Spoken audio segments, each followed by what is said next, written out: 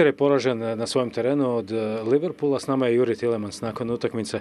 Uh, Juri, it was obviously really hard game uh, for you. So how was it on the pitch? How how did you see it? Like you say, it was a hard game.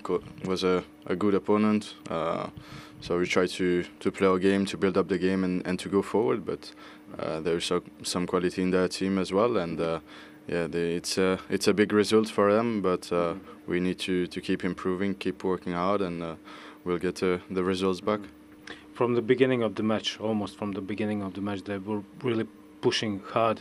Uh, that high pressure was making real problems for you as well.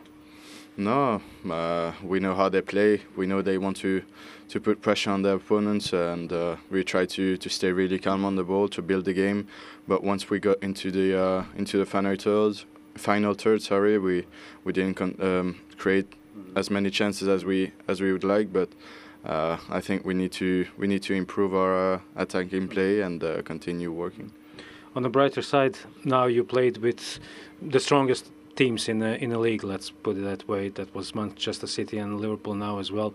So uh, you're still pretty good, even even better than that. You're still in the second position. Uh, how do you how do you see your game so far uh, this season? At the end of the at the end of the year, we are only in the middle, so we can uh, we can only keep going, uh, keep working, and uh, we'll see at the end of the season. But we we've got still lots of games to go, and uh, we need to we need to keep uh, to keep pushing ourselves and, and to try and to, to win the next games.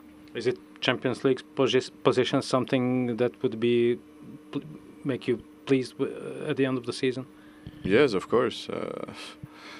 nobody thought that we we could be where we are now. Uh, so Champions League at the end of the season will be very good for us, but we need to we need to win games and, and improve as a as a team. Thank you very much. Thank you.